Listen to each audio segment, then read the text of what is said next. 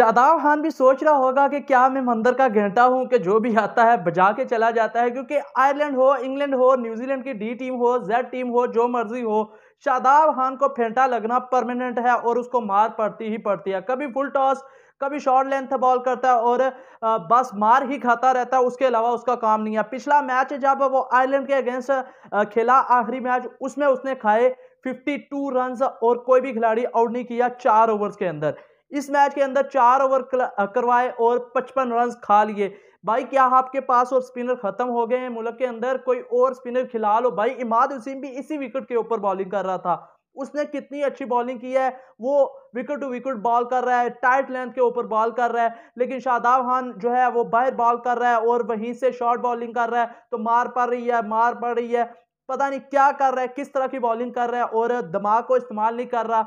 पिछले world cup से लेकर अभी तक टोटली आउट ऑफ़ टच है। कोई पता नहीं कि उसे किस तरह से बॉलिंग करनी है। पता चल रहा है कि वो बॉलिंग करवाना ही भूल गया। वो शादाब खान, जो शादाब खान जब आया था गुगलीज फ्लिपर्स करता था, वो अब गुगलीज हमें नज़र ही नहीं आती। जब 2016 में डेब्यू हुआ था इंग्लैंड सॉरी जब ये गया था वेस्ट इंडीज के अंदर आउट किए थे, जब पीएसएल में आउट किए थे चैंपियंस ट्रॉफी में आउट किए थे, वो वाला शादाब हमें बिल्कुल भी नज़र नहीं आ रहा। उसकी बॉलिंग नज़र नहीं आ रही। तो हमारे पास और ऑप्शन हैं। हम और ऑप्शन आजमा सकते हैं। अबरार अहमद को बेंच पे बैठाया हुआ था। मिस्ट्री स्पिनर है। इंग्लैंड की टीम जब पाकिस्तान में आकर फेंटा लगा रही थी टेस्ट मैचेस के अंदर पाकिस्तान टीम को, तब अबरार आपको आउट करके दे रहा था। तब जो आउट करता था थोड़े बहुत, तब अबरार कर रहा था। तो आप क्या सोच कर शादाब खान को खिला रहे हो?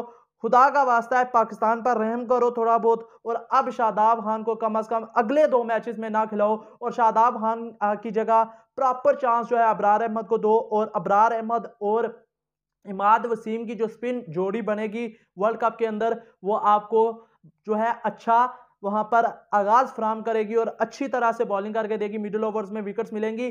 जो है मुश्किल होता है मिडिल ओवर्स के अंदर रन्स करना, जब पावर प्ले खत्म हो जाती है, फील्डिंग खुल जाती है, आते साथ स्पिनर्स को स्कोर करना मुश्किल होता है। लेकिन शादाब खान दूसरी टीम के लिए वहाँ पर जब प्रेशर बनाना होता है, वो प्रेशर नहीं बना पाते और वहाँ से दूसरी टीम जो है, वो आसानी से रन कर पाती है उन मिडिल ओवर्स के अंदर, जिसकी वजह से पाकिस्तान जो है, पिछले वर्ल्ड कप में भी बुरी तरह से जलील हुआ और अब भी बुरी तरह से जलील हो रहा है। तो अच्छा यही होगा कि शादाब उनको जितना जल्दी हो सके टीम से साइडलाइन किया जाए और अबराद को प्लेइंग इलेवन के अंदर लाया जाए। यकीन ये वीडियो आप लोगों को अच्छी लगी होगी। अगर आप लोग एग्री करते हो तो कमेंट बॉक्स में ज़रूर बताना। अल्लाह हाफिज़।